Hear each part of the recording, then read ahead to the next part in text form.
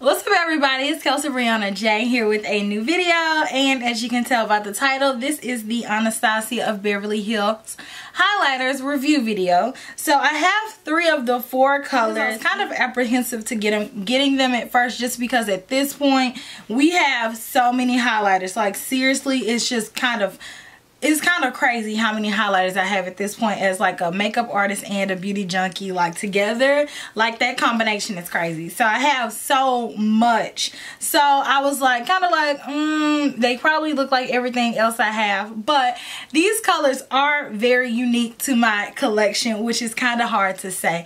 So of the four I have Starlight Peach Nectar, and So Hollywood. So I'm only missing one, which I'll probably go ahead and get that one. Initially, I bought So Hollywood and Peach, Peach Nectar, and I said I was not going to get by Starlight and Riviera because Riviera just looks like um, MAC Superb and I've had that for forever and I barely use it and then this one I thought it would be too light but I actually did a demo that you'll see later on in the video where I use this and it actually really really really is pretty I bought this one yesterday actually and I wore it throughout the mall like I tried it at the mall because I wasn't really sure if I was going to get it. It was only one left in my Macy's by the way. So I wore it around and everybody, I keep hearing some rickety noise but anyways, everybody was giving me compliments on it so I was like I have to have to have to get this. So I ended up getting this one but I really love this formula and I was not sent these like some people were so sometimes you can have a hard time trusting people's opinions and their reviews because you feel like they're just trying to sell something and push something on you. But I bought these with my hard-earned money and I'm here to tell you that this formula is amazing. I got mine from Macy's, but you can get these from two places. You can get them from Macy's or you can get them directly from Anastasia of Beverly Hills website. That is it. Like there's no other place that you can get these. They do not sell these at Sephora. They don't sell these at Dillard's. They just sell these at Macy's and on their website. So um, basically what they're saying is this is like a filter for your complexion. This brush on highlighter contains a mosaic of brightening powders that impart a lit from within glow. The mirrored compact makes on-the-go touch-ups easy and fail-safe available in four hues. Honestly, I'm not going to carry around my highlighter to do a touch-up. Once I put the highlighter on for the day, that highlighter needs to stay glowing like a diamond all day. Like I don't take my highlighter with me.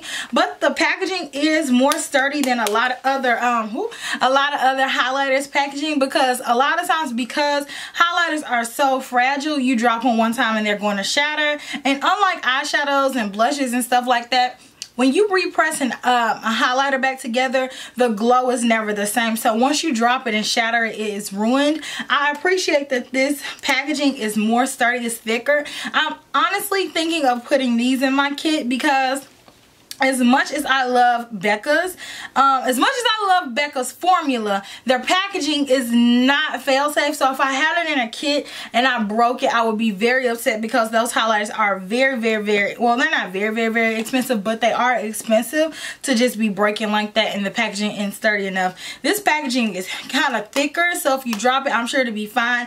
I have not dropped this yet. I have dropped my Becca before and luckily mine didn't shatter, but everybody else i know if you drop it one time like it's done done done done done. So these aren't too bad as far as price goes. These are 28 dollars each which isn't bad. If you have the anastasia of beverly hills discount it does not apply to these. So it doesn't matter where you get them from you're gonna pay 28 dollars if you guys saw in my haul like the last haul or the haul before last that I posted I want to say you saw where I ordered these from Macy's and they had a free gift with it. The gift I've already put it up and I have no idea where I put it.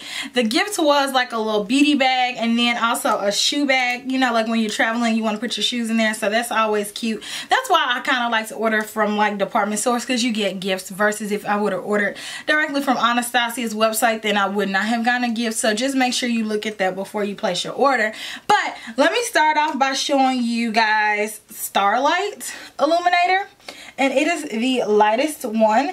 This one is described as a white gold highlighter and I just absolutely love this. highlighter It's just gorgeous. It reminds me a lot of NARS's Albatross which I already have that one but this one is so much more finely milled and very smooth and creamy and I like how it feels like that really pretty finely milled powder. Pretty glow. It's just like a really pretty glow. And you don't have to do too much work because, you know, in comparison to like MAC skin finishes, these aren't chunky like that. But in comparison to the extra dimension skin finishes that MAC just came out with, these are very, very like comparable so if you missed out on those the two that just released or if you weren't a fan of those colors i would say check these out because these are similar so then next I have So Hollywood and So Hollywood is bomb. This is like what made me interested in them in the first place.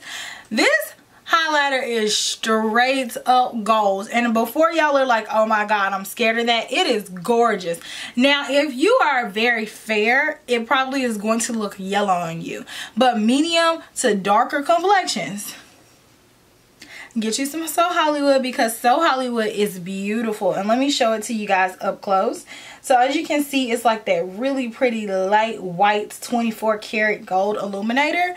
Oh my gosh, y'all. It's so freaking pretty. And I've done this so many times and the design still is there. So I wouldn't worry about that. But what's about to skip these. That that's crazy. I was lit I was literally literally I was slightly talking junk about them because I was like, oh another highlighter no these are pretty here is peach nectar so peach nectar i definitely don't have a peachy highlight color of all of both of these this one i want to say when I put it on, it almost isn't like a highlight. I almost could just wear this like a blush topper if I wanted to. I wouldn't just wear it by itself because it is a little bit darker because it does have that tint of peach.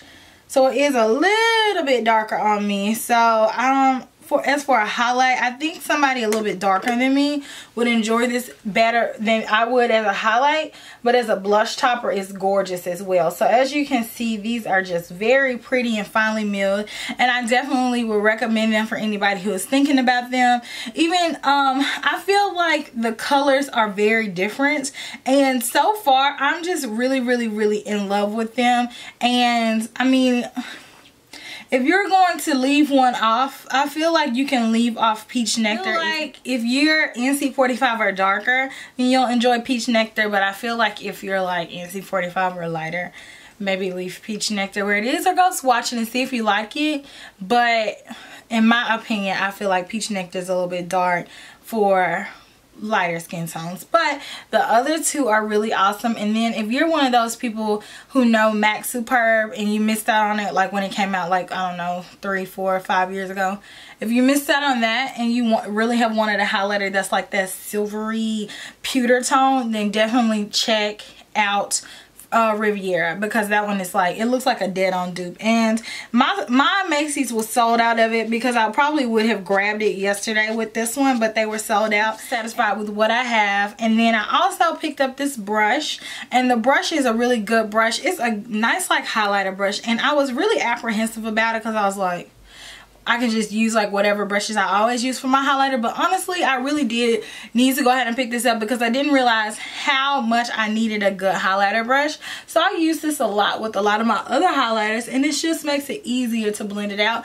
because it's the perfect size for highlighters and it's also a great amount of density. So you can kind of put it on, you can control it a little bit better. So you can put it on lightly, you can put it on a little bit more heavily. I do like this brush as well and I also got this from Macy's. So all in all, I really enjoy these highlighters. Make sure you go check them out. Let me know if you have them and let me know if you are enjoying them. And I thank you for watching this video. Make sure you like it if you felt like it was informative. And make sure you subscribe and leave me a comment below. And I'll talk to you guys next time. Smooches. Bye.